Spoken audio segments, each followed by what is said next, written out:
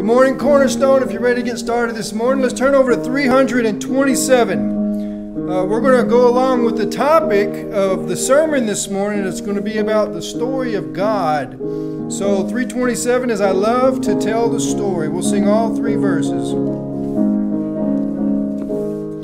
I love to tell the story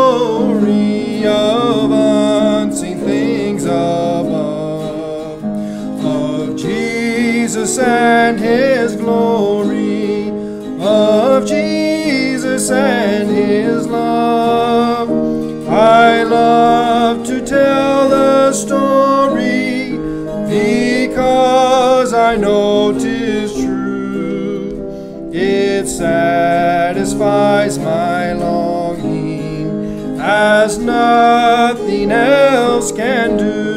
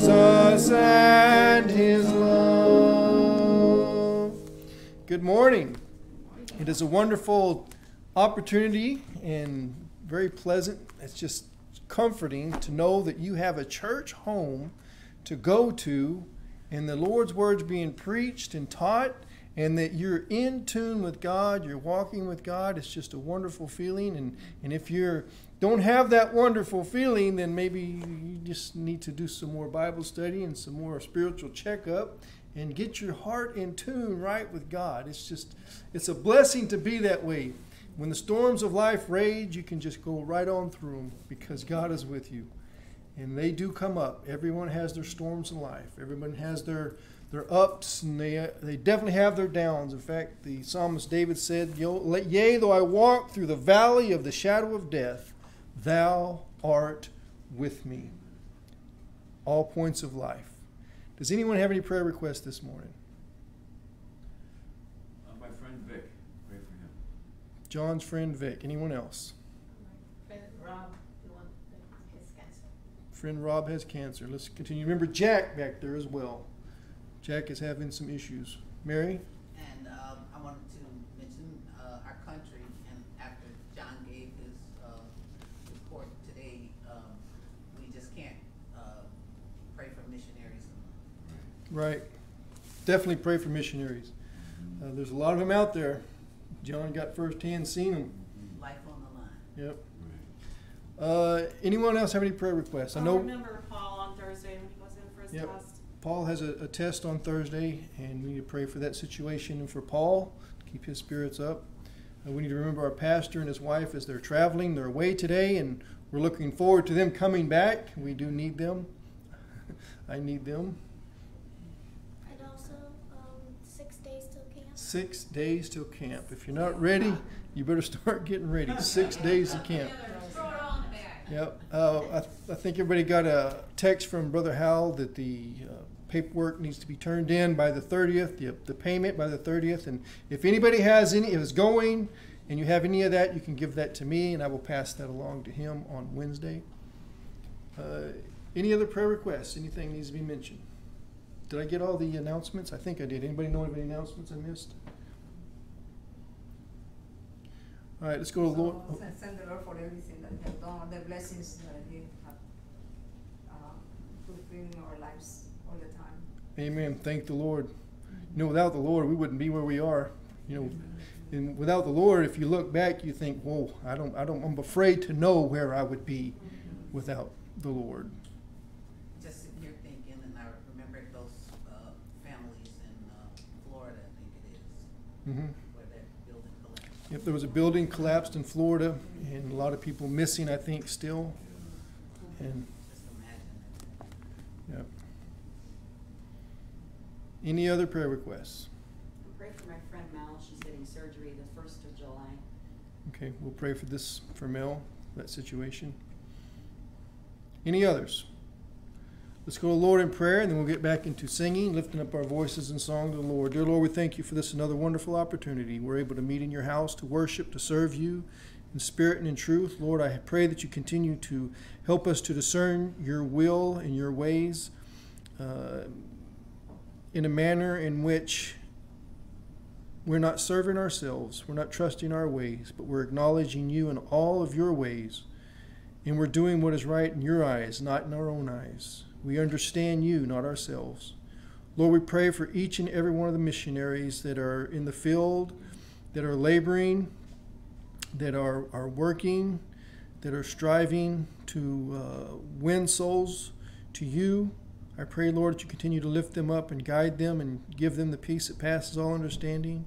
Lord, I pray that you be with each one of the, the ones that are on our hearts today in this in this auditorium, this church service. That uh, we're as we are praying for them, as these individuals are praying for them, that you uh, open up their minds and their hearts, that they might come to know you if they are lost, and that if they are saved, that you continue to give them that peace that passes all understanding.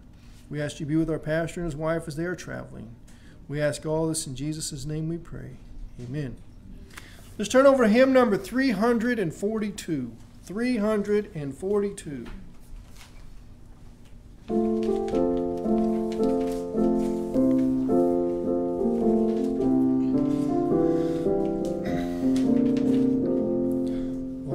land of rest, for thee I sigh. When will that moment come? When I shall lay my armor by and dwell in peace at home. We'll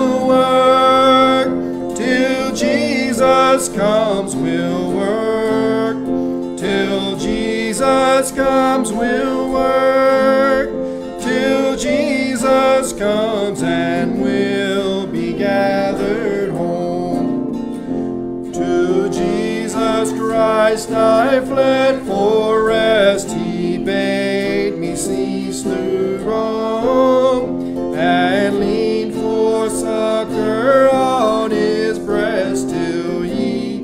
conduct me home.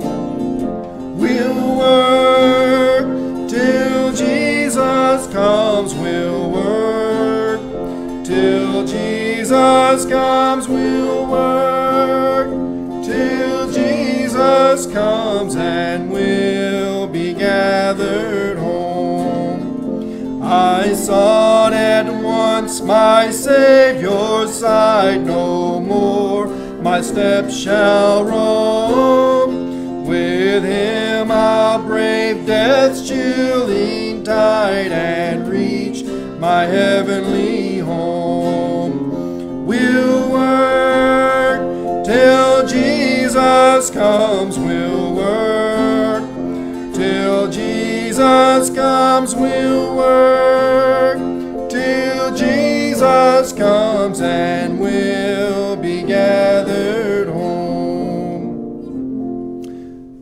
Right over the other side of the page, number 343 Footsteps of Jesus. We'll sing the first, second, we will stand on the last verse. And we have one special this morning before we have our preaching hour. Sweetly, Lord, have we heard thee calling, Come, follow me. Though footprints falling us to thee. Footprints of Jesus that make the pathway glow. We will follow the steps of Jesus where'er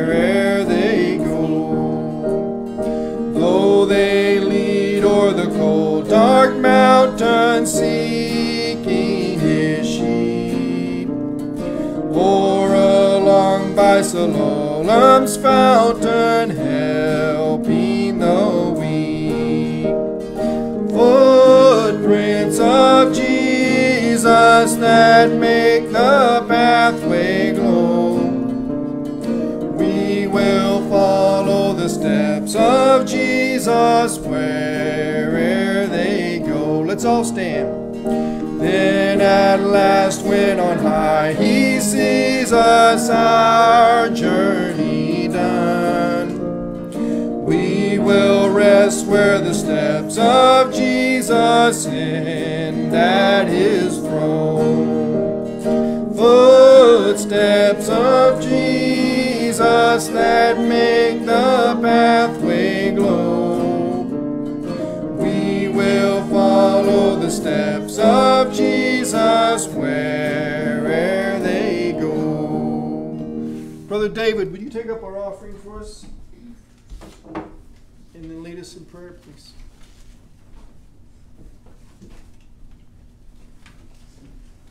Father God, Lord, we thank you uh, once again for this uh, wonderful day given to us. Uh, this uh, another great opportunity, Lord, that we can uh, come to you and uh, uh, give you glory and honor for this uh, day, Lord. Uh, come to worship you, Lord, and we thank you for the blessings that's provided to us day by day, uh, for uh, guiding us and providing our uh, uh, job and work, Lord. Continue to uh, provide, Lord, uh, for our family and even this Lord, that we can continue to return to you all these blessings that you have provided to us. And so pray, Lord, that we to use this, this Lord, for, uh, glory and we use for uh, your church, Lord. And we pray as we continue with our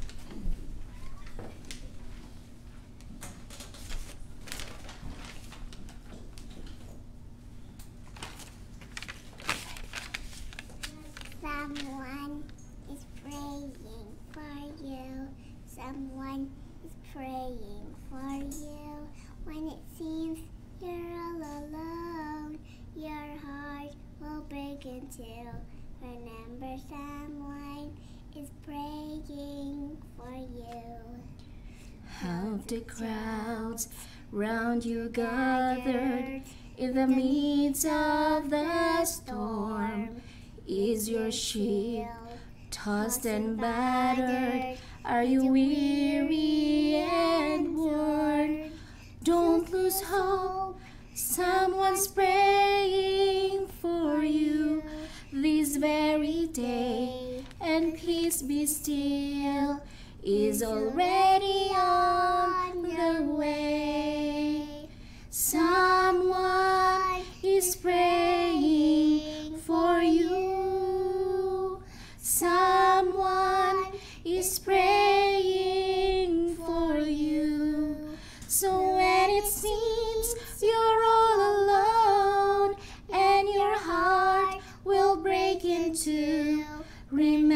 someone is praying for you.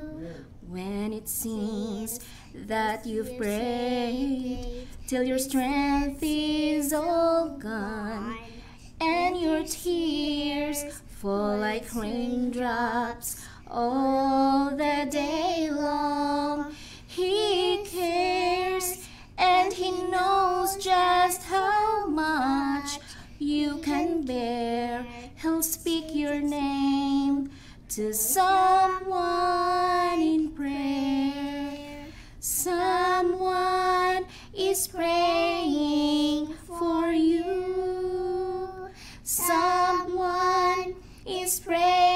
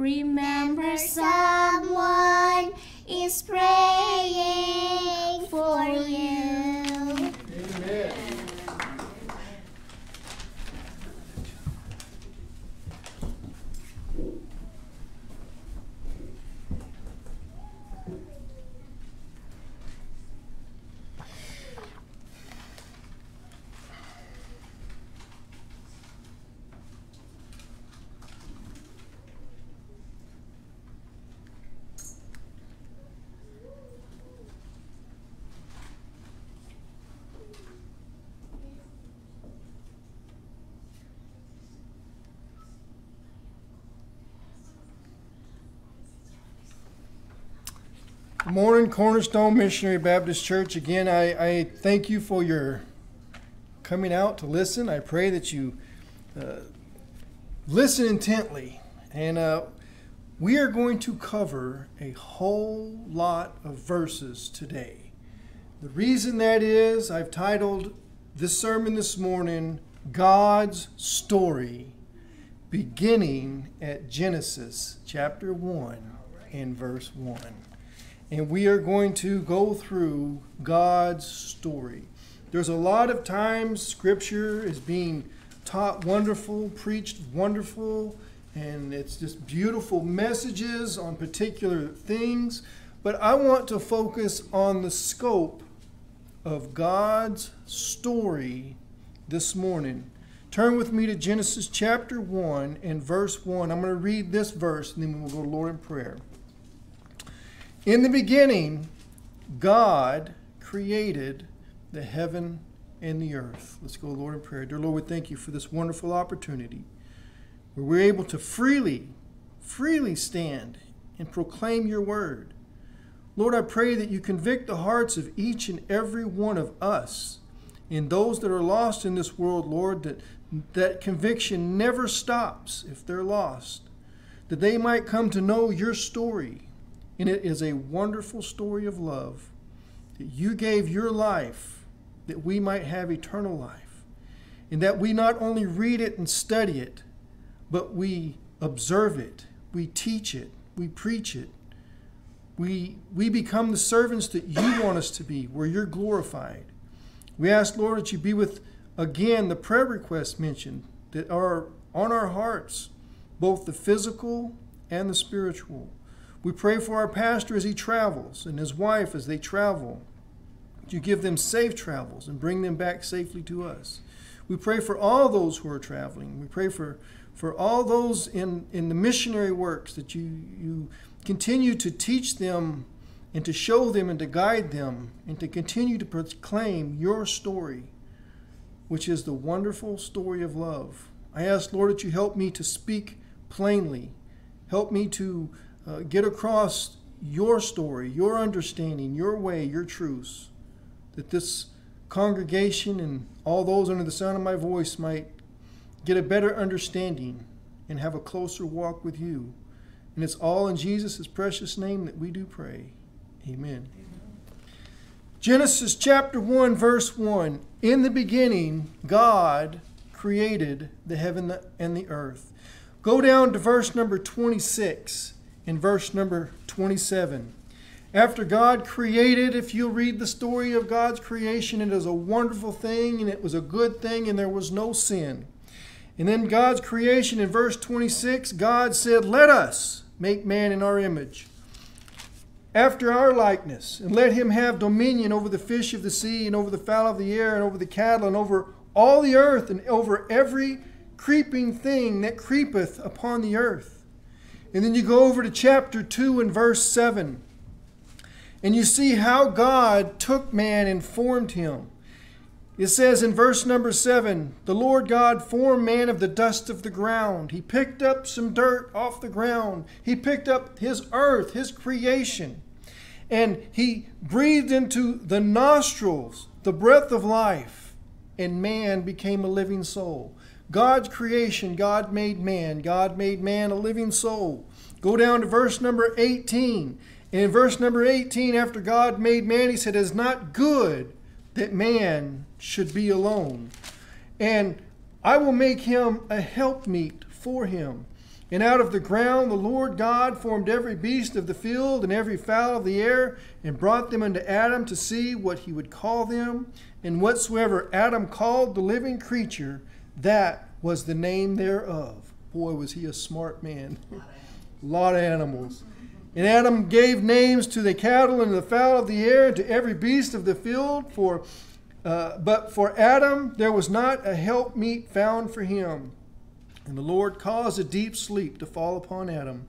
And he slept, and he took one of the ribs and closed up the flesh instead thereof. And the rib which the Lord God had taken from the man made he a woman, and brought her unto the man. And Adam said, This is now bone of my bones, and flesh of my flesh. She shall be called woman, because she was taken out of man. Therefore, man, therefore shall a man leave his father and his mother, and shall cleave unto his wife, and they shall be one flesh. And they were both naked, and the man and his wife, and they were not ashamed. We have the beautiful creation of God. We have the beautiful creation of man and of woman. And then in Genesis chapter 3, beginning in verse 1, we have a terrible incident that came about. There was a serpent. This serpent's name was the devil. He was more subtle than any beast of the field which the Lord God had made. And he said unto the woman, Yea, hath God said, Ye shall not eat of every tree of the garden? And the woman said unto the serpent, We may eat of the fruit of the tree of the garden, but the fruit of the tree which is in the midst of the garden, God hath said, Ye shall not eat of it, neither shall ye touch it, lest ye die. And the serpent said unto the woman, Ye shall not surely die. The first lie spoken. For God doth know that in the day that ye eat thereof, then your eyes shall be opened, and ye shall be as gods, knowing good and evil. Wow! Don't lies sound good? But it's not God's way or God's truths. And when the woman saw that the tree was good for food, and that it was pleasant to the eyes to make, and the tree to be desired, and to make one wise, she took of the fruit thereof and did eat, and gave also to her husband with her, and he did eat. And the eyes of them were both opened, and they knew that they were naked. And they sewed fig leaves together, and made themselves aprons. And they heard the voice of the Lord God walking in the garden in the cool of the day. And Adam, his wife, and his wife hid themselves from the presence of the Lord God among the trees of the garden. And the Lord called unto Adam, and he said unto him, Where art thou? And he said, I heard thy voice in the garden, and I was afraid, because I was naked, and I hid myself. And he said, Who told thee that thou wast naked? Hast thou eaten of the tree whereof I commanded thee that thou shouldest not eat? And the man said, The woman thou gavest me, she is the one that caused me to eat. Here comes the blame game. Doesn't that just like us to point the finger?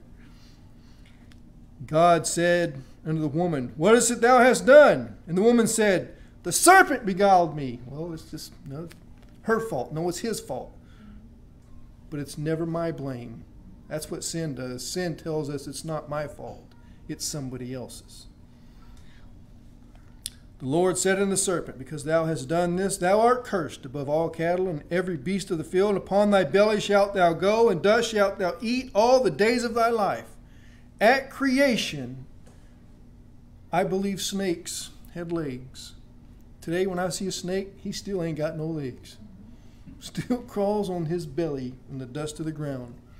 Because why? Because our great Creator said, That's what you're going to do, that's what you're going to do. And it has never, ever stopped. Turn with me to Genesis chapter number 6 and verse number 5. Genesis chapter 6, verse number 5 we see the wickedness of man, the, the finger pointing. We see that the fruitful and multiply, they multiplied what? More sinners, more finger pointers, more people that pointed at somebody else's wrongs and then fights and, and then big confusion happens. And in Roman and in Genesis 6 and verse 5, and God saw the wickedness of man was great in the earth because of sin that entered in and that every imagination of the thought of a man's heart was only evil continually. Go down to verse number 11. The earth also was corrupt before God, and the earth was filled with violence. And God looked upon the earth, and behold, it was corrupt. For all flesh hath corrupted his way upon the earth. God said unto Noah, the end of all flesh is come up before me. The earth is filled with violence through them. And behold, I will destroy them with the earth. Make thee an ark, ark of gopher wood. Noah, you go build you an ark and get in it. I'm going to save you because you found grace in my eyes. You were, you were just. You understood your unrighteousness. You didn't point at anybody else, but you found grace in me. I'm going to save you, but I'm going to remove this wickedness from my creation. Turn with me to Genesis chapter number 8, beginning at verse number 15. Genesis chapter 8 and verse 15. God spake to Noah, saying, Go forth of the ark, thou and thy wife and thy sons and thy sons' wives with thee. Bring forth with thee every living thing that is with thee of all flesh, with uh, both the fowl, the cattle, and every creeping thing that creepeth on the earth, that they may breed abundantly in the earth, and be fruitful and multiply in the earth. And then you find in Genesis chapter 9 and verse 1 that God blessed Noah and his sons and said unto them, Be fruitful and multiply and replenish the earth. Before the flood, wickedness was great. God didn't mean for wickedness to overtake his creation. God destroyed it. God started over again with Noah. Genesis chapter 9, verse 13, in verse number 17. He made a covenant with Noah. And he said, I do set my bow in the cloud, and it shall be for a token of a covenant between me and the earth. Anybody here ever seen a rainbow? Tell me there's no God. Amen. And it shall come to pass when I bring a cloud over the earth that the bow shall be, shall be seen in the cloud, and I will remember my covenant which is between me and you and every living creature of all flesh, and the waters shall no more become a flood to destroy all flesh. And the bow shall be in the cloud, and I will look upon it, and I may remember the everlasting covenant between God and every living creature of all flesh that is upon the earth. And God said unto Noah, This is the token of the covenant which I have made, which I have established between me and all flesh that is upon the earth. Then we find over the process of time that through lineages in the replenishing of God's earth that we find a man named Terah in Genesis chapter 11 in verse number 26 and it says Terah lived 70 years and he begat Abraham. We see Abraham come into the picture and there is this this this man that God has designed that God will use to bring forth God's ways, God's truths, God's righteousnesses. He wasn't going to use Abraham to, to, to make people do things to make them righteous. He was going to use Abraham to show people God's righteousness and how they were unrighteous. And in Genesis chapter number 12, in verse number 2, and he told Abraham, I will make thee of thee a great nation, and I will bless thee, and I will make thy name great, and thou shalt be a blessing. And I will make thy seed as the dust of the earth, so that if a man can number dust of the earth, then shall thy seed also be numbered. And then you go down to Genesis chapter 17 and verse number 2. God told Abraham, I will make my covenant between me and thee, and I will multiply thee exceedingly. And we find that in the lineage of Abraham, we find that there is a children that is born unto God called the Israelites. And today we call them the Jewish nation. And as they were as they were uh, growing, they went into Egypt and they lived and prospered in Egypt. And then there was a, an Egyptian king that came into Egypt and he brought the children of Israel into bondage. And the children, as the children of Israel grew, the Egyptian king said, "You know what? These people are getting too many. Let's let's let's let's make them slaves." In Exodus chapter 2 and verse number 23, it came to pass in the process of time that the king of Egypt died, and the children of Israel sighed by reason of the bondage, and they cried, and their cry came upon the, up to the Lord God by reason of their bondage. And God heard their groanings, and God remembered his covenant with Abraham, Isaac, and with Jacob. God remembered his covenant. And then we find that after he remembered his covenant, that God made Moses. And God made Moses, and Moses, you know the story how he was put in a, in a basket and he was pushed off into the river and he was raised under, under Pharaoh's, uh, uh, an Egyptian woman and he was raised up and, and he was weaned by Moses' mother. Not the, they didn't know that that was Moses' mother. And, and you guys know the story. I don't want to go into that story because this is God's story. God made Moses. God told Moses to go into the children, go into Egypt and I want you to take my people out because I'm making you a people. I'm making you a great nation. And in Exodus chapter 24 and verse 12, the Lord said unto Moses, Come up to me in the mount and be there, and I will give thee the tables of stone. As the children of Israel were gone out into the wilderness, they were at Mount Horeb, and God told Mo- Moses, Come up into the mountain in Exodus 24 12. And God come and, and, and I will and I will and I, I will give thee tables of stone and a law and commandments which I have written that thou mayest teach them. And then we have the Old Testament. In the Old Testament we have the Leviticus, the Levitical tribe of Israel. Numbers, we have Deuteronomy, we have Joshua.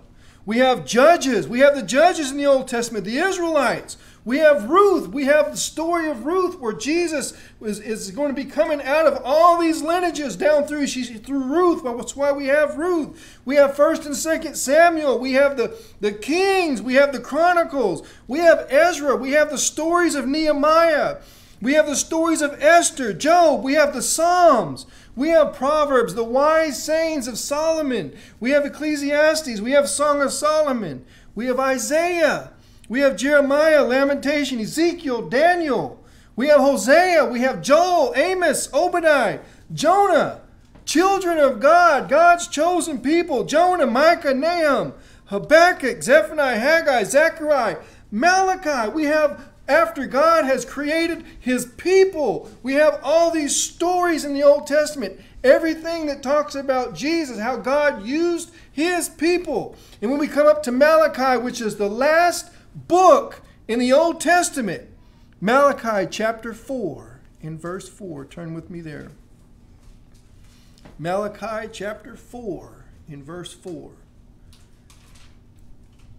Remember ye the law of Moses, my servant, which I commanded unto him in Horeb for all Israel with the statutes and judgment? Behold, I will send you Elijah the prophet before the coming of the great and dreadful day of the Lord. And he shall turn the hearts of the fathers to the children, and the hearts of the children to their fathers, lest I come and smite the earth with a curse. And then we have the New Testament. Matthew chapter 1 and verse 1. The book of the generations of Jesus Christ, the son of David, the son of Abraham. Luke chapter 1 and verse 30 tells us that an angel came to Mary and said, Mary, fear not, for thou hast found favor with God, our Creator, the sustainer of life, the one who took dirt from the ground and picked it up and breathed into the nostrils of man the breath of life. Mary, thou hast found favor with God, and behold, thou shalt conceive in thy womb and bring forth a son, and thou shalt call his name Jesus. You know who Jesus is? Remember back in Genesis that we read earlier? I will put enmity between thee and the woman he told Satan. That's Jesus. That's what Jesus was going to do. Jesus is going to pay for our sin. Satan caused man to fall away from God. Jesus brought man back by his death. Verse 32, Luke chapter 1 and verse 32. He shall be great. He shall be called the Son of the Highest, and the Lord God shall give unto him the throne of his father David, and he shall reign over the house of Jacob forever and his kingdom there shall be no end. You know where King God's kingdom is? In heaven. You know where his business is carried out? In the church. In fact, in Luke chapter 22, the angels, they went out and, in, and they went out to this country and in, in Luke 2 and 8, and there were shepherds abiding in the field, and they were keeping watch over their flock by night, as the scriptures, God's word says. And lo, the angel of the Lord came upon them, and the glory of the Lord shone round about them. And they were sore afraid, and the angel said unto them, Fear not. You know, when Jesus comes, we don't need to fear. Don't fear. We, we have victory in Jesus. Fear not, for behold, I bring you good tidings of great joy. God put enmity between Satan and the woman from her seed and his seed, the seed of unrighteousness to the seed of righteousness, which is Jesus Christ. Good tidings of great joy, which shall be to all people. Do you know all people can be saved?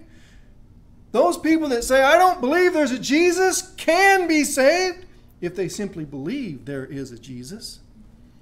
For unto you is born this day in the city of David a Savior, which is Christ our Lord. Jesus Christ came, if you read in the scriptures of all the miracles that he did and all the works that he did, and he had followers, he, he, he made his disciples, the 12, the first church. He sat down after he was tempted of the devil, and, the, the, and he told the devil that you, you can't live by bread alone, but you got to live by every word of God. He told the people, I am not come to destroy the law, even though the law was a curse, man couldn't attain it, man couldn't abide by it. I didn't come to destroy it. I didn't come to destroy the prophets. He said, I am not come to destroy, but to fulfill. To fulfill what? What God said to Satan. I will put enmity between you and the woman. I made a perfect creation. And you came in and through your deceits and your lies, it got corrupted. I had nothing to do with it, but I love my creation. I love my people. I love what I did. I will pay the way back. You did the sin. I'll pay the way back. John chapter 1 and verse 1 tells us in the beginning was the Word. Do you know in the beginning was Jesus? The Word was with God, Jesus was with God, and the Word was God. Jesus is God. The same was in the beginning with God. All things were made by Him, and without Him was not anything made that was made. In Him was life, and the life was the light of men. And the light shineth in darkness, and the darkness comprehended it not. There was a man sent from God whose name was John, the same to care, came to bear witness of the light, that all men through him might believe. John was not that light. It says here he wasn't the light, but he was sent to bear witness of that light. That was the true light which lighteth every man that cometh into the world. When you came into the world, you came in in darkness. When you came into the world, you came into a, a life of sin. You were born a sinner. Jesus came in and was light of the world to light every sinner. He was not in the world, he was in the world, and the world was made by him, but the world knew him not. He came into his own, and his own received him not. But as many as received him, to them gave he power to become the sons of God even to them that believe on his name, which were born not of blood, nor of the will of flesh, nor of the will of man, but of the will of God. It's God's will and commandment that man put their faith and trust in him. Jesus told a man, Except ye be born again, you cannot even see the kingdom of God. John 3 and 14 says, As Moses lifted up the serpent in the wilderness, even so must the Son of Man be lifted up. Jesus must be lifted up that he might pay the sin debt, that whosoever believeth in him should not perish, but have eternal life. For God so loved the world that in the beginning he told Satan, I'm going to put enmity. I am going to pay away, give away that I might buy back the creation of man that you have allowed to, to corrupt with the sin nature by your lies. God so loved the world that he gave his only begotten Son. That's how he did it. That whosoever believeth in him should not perish but have everlasting life. When Satan entered in, we were condemned to hell. He lied. If you don't believe in Jesus, you are following the lies of Satan today. God didn't send his son to the world to condemn the world. Why? You're already condemned. But that the world through him might be saved from Satan's lies, from Satan's wicked ways. He that believeth on him is not condemned, but he that believeth not is condemned already. You had no work to do in your salvation. There's no work you can do to get it, there's no work you can do to lose it. There's no work, period. God said, I will put enmity, not you. I will put enmity. I will pay the way. He that believeth on him is not condemned, but he that believeth not is condemned already, because he hath not believed in the name of the only begotten Son of God. And this is the condemnation that light is come in the world. Jesus is in the world. But men love darkness rather than light. That's why every pew is not filled up, every seat. Men love darkness rather than light. That's why people say there is no God, because they love darkness rather than light.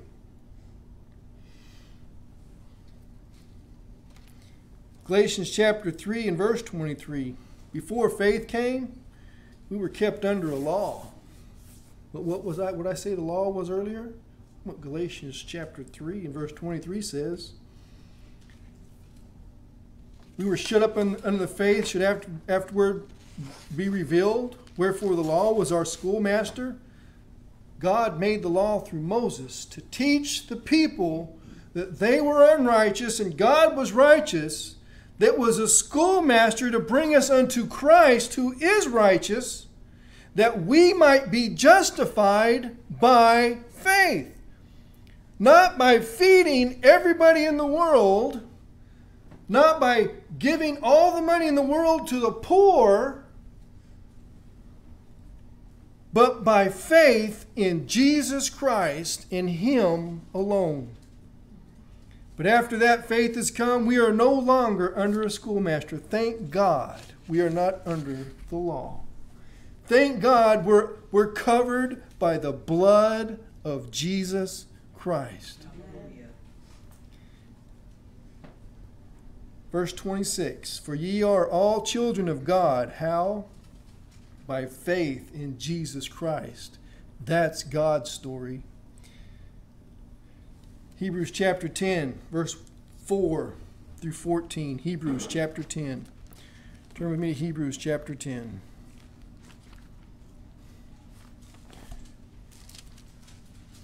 Verse 4 through 14.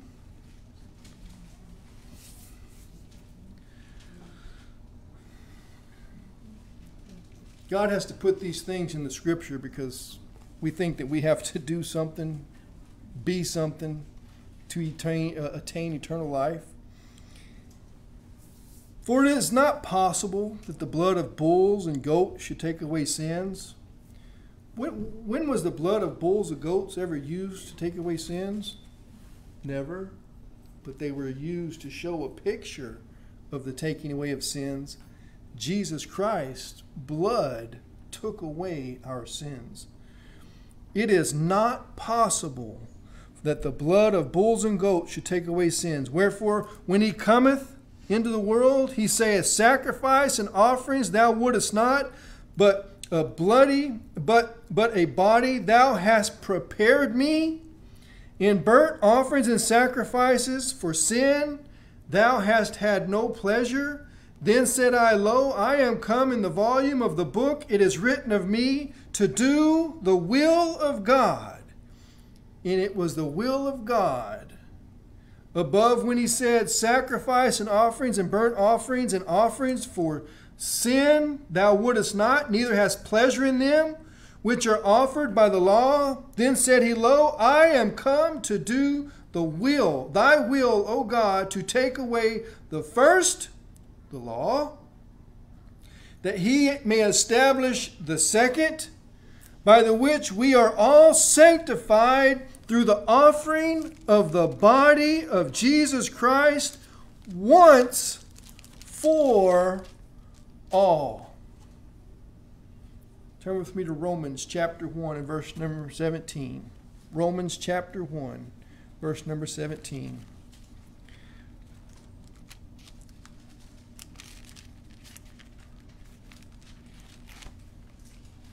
Romans chapter 1, verse 17.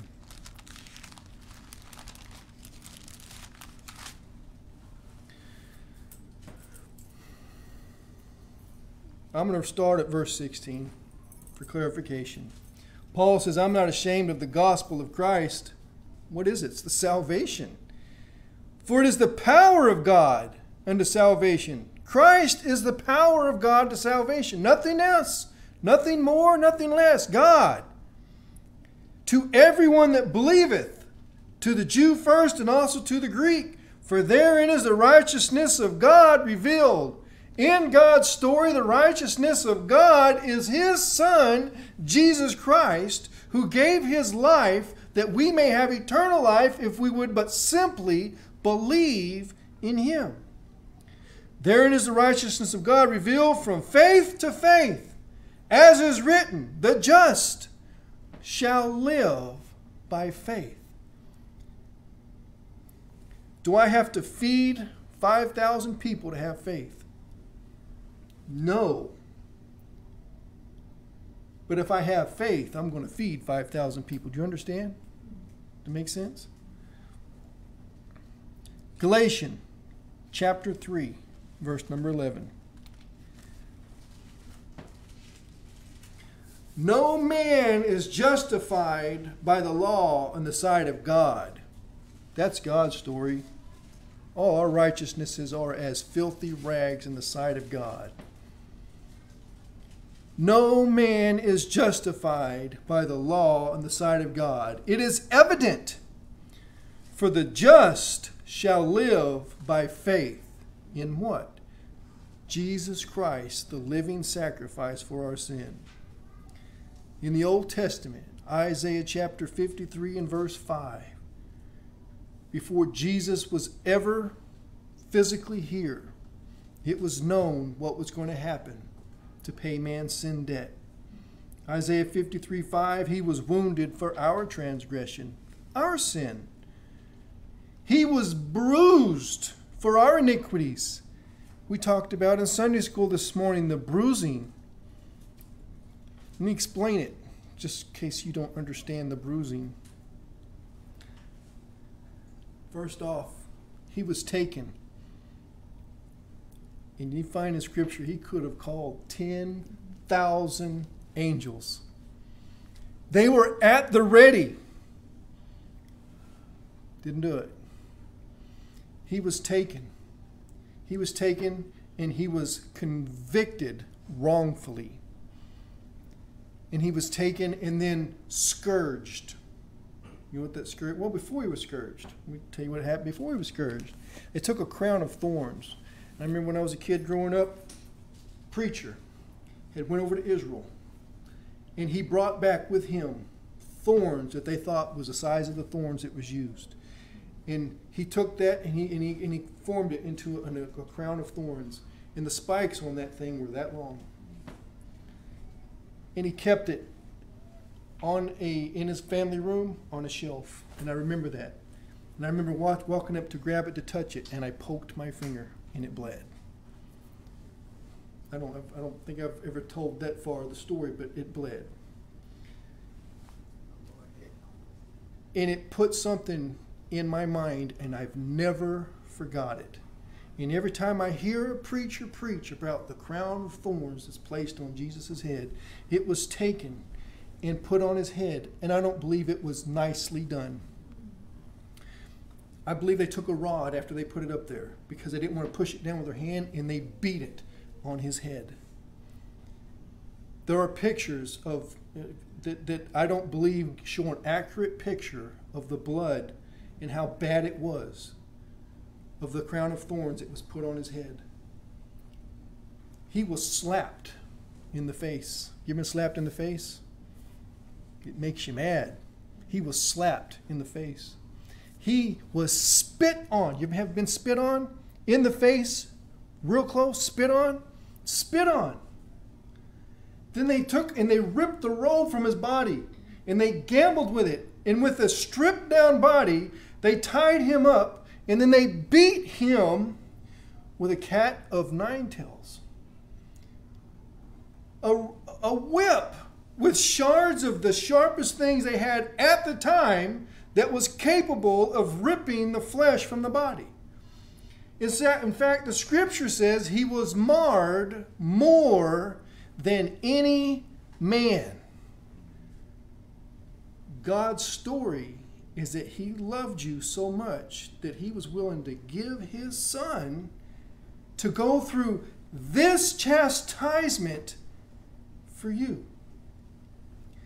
After the blood was ripped from his body, with a cat of nine tails, and the flesh removed, the beard pulled from his face, he was taken to a cross, and I don't believe he had to go unwillingly. He willingly went, and I believe he laid his hands out.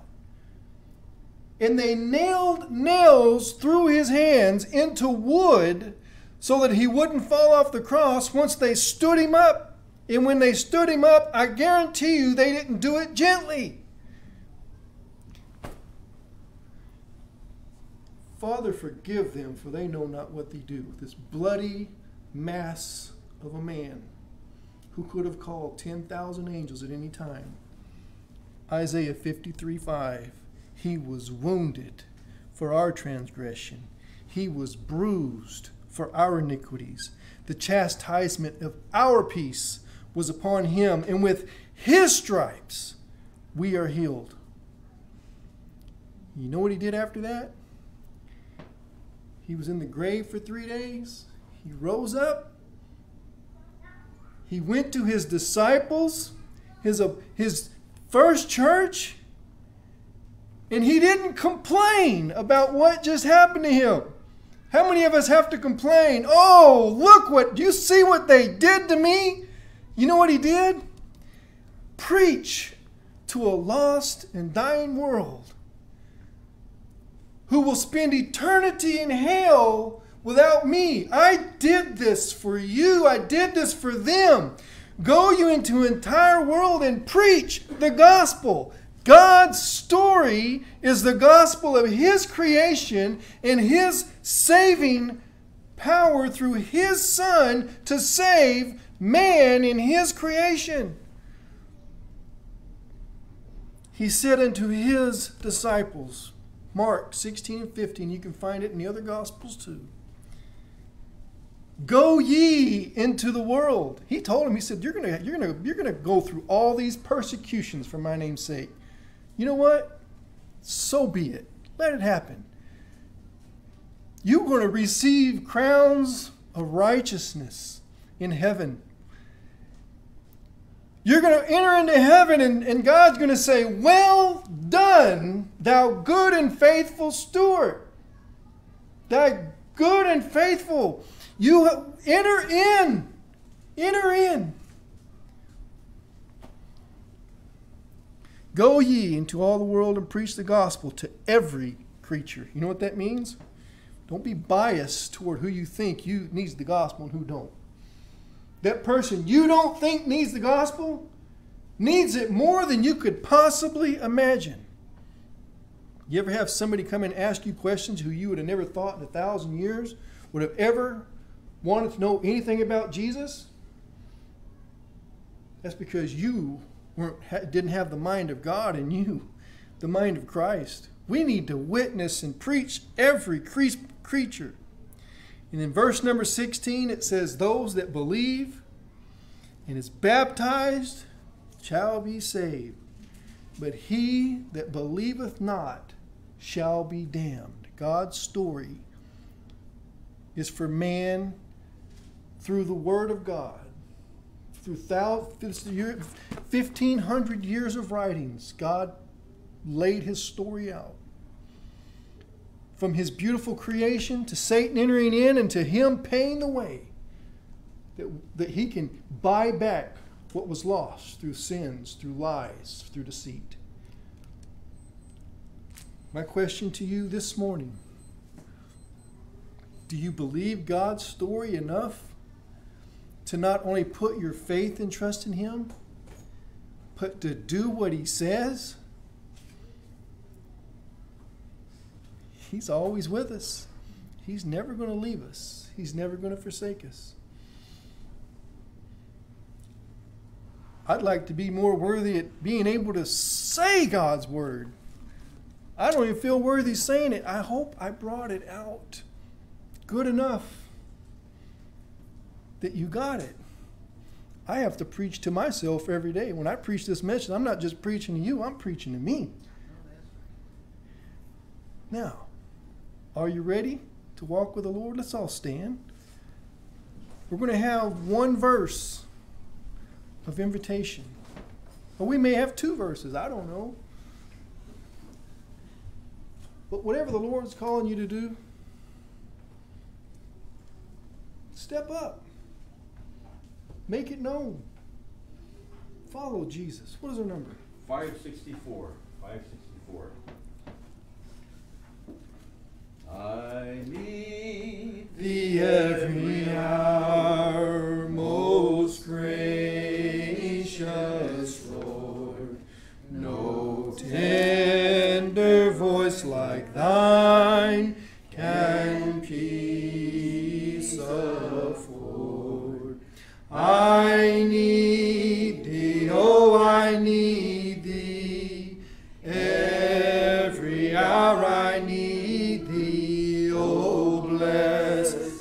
Now, my Savior.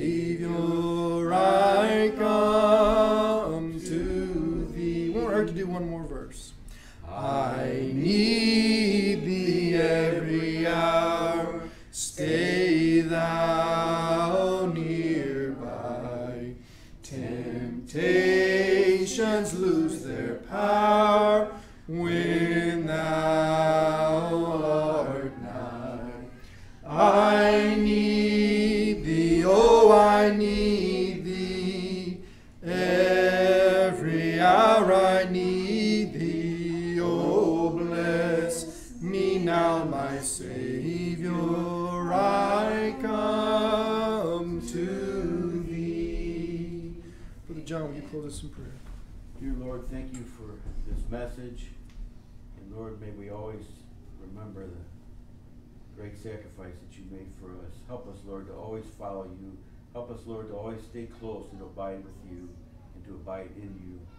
Thank you for Brother Ron. Thank you for each member of this church. Thank you for our pastor. And I pray, Lord, that you would uh, go with us now as we uh, break away from this fellowship and that you might bring us back safely again this afternoon. Thank you for Jesus. In his name I pray. Amen. Amen.